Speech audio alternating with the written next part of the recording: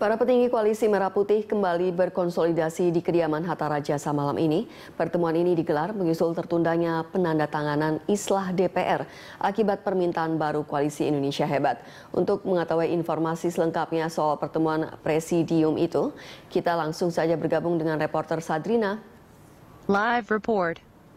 Ya, Sadrina, apakah sudah ada sikap dari Presidium Koalisi Merah Putih soal revisi Undang-Undang MD3?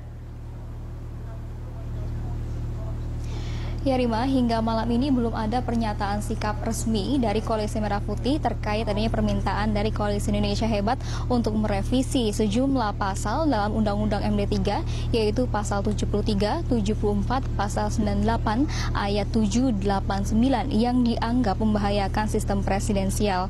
Sampai sejauh ini masih uh, rapat internal antara Presidium Koalisi Merah Putih dan juga pimpinan DPR masih berlangsung sejak pukul 8 malam tadi dan sejak pukul setengah tujuh malam tadi memang sudah ada sejumlah tokoh yang hadir seperti Ketua MPR Zulkifli Hasan, Ketua DPR Setia Novanto, dan juga Ketua Umum partai lainnya seperti Gerindra yaitu Prabowo Subianto, Ketua Umum Golkar Abu Rizal Bakri dan juga Ketua Umum PKS Anies Mata.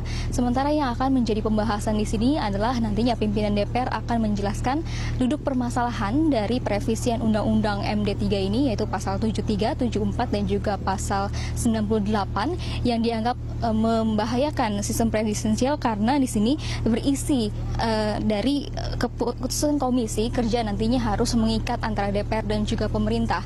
Jika nantinya pemerintah tidak dapat melaksanakan kewajiban maka DPR akan uh, mengajukan hak interpelasi, hak angket, dan juga hak menyatakan pendapat.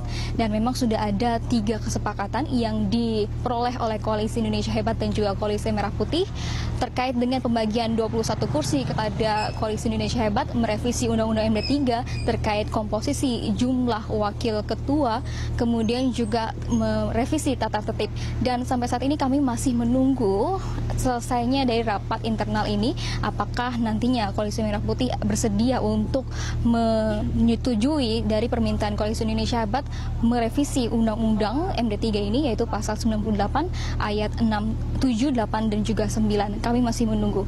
Terima. Ya, baik terima kasih Sadrina. Sadrina Evanalia melaporkan langsung dari kediaman Hatta Rajasa, Fatmawati, Jakarta Selatan.